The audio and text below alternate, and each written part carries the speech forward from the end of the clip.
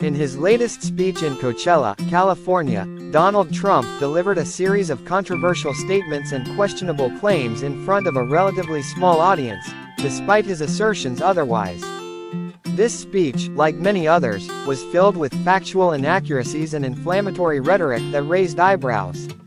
Before Trump even took the stage, the crowd faced extreme heat, with some people passing out due to 100-degree weather. Once on stage, Trump claimed that 100,000 people were in attendance, a statement that did not match the actual crowd size. Struggling with his delivery, Trump attempted to discuss inflation but stumbled over the word, deflate. He proceeded to threaten withholding emergency aid to California if the state didn't meet his demands, particularly in relation to forest fires. In another part of the speech, Trump falsely claimed that California experiences daily blackouts and brownouts.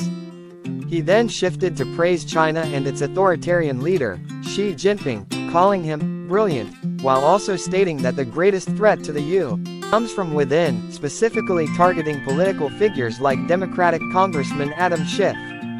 Throughout the speech, Trump went on tangents, from calling former New Jersey Governor Chris Christie a fat pig, to mocking a heckler in the audience, telling her to go back to mommy.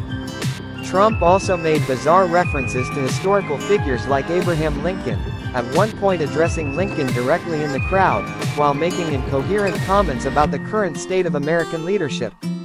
Towards the end, Trump stated that the U.S. should reinstate the Alien Enemies Act to punish migrants who re-enter the country illegally, suggesting that the death penalty could be an option. This speech, characterized by hyperbole, misinformation, and incendiary comments, once again showcased Trump's confrontational and chaotic style. His claims and statements continue to be divisive, sparking widespread reactions from both his supporters and critics. Time will tell how this rhetoric influences the political landscape moving forward.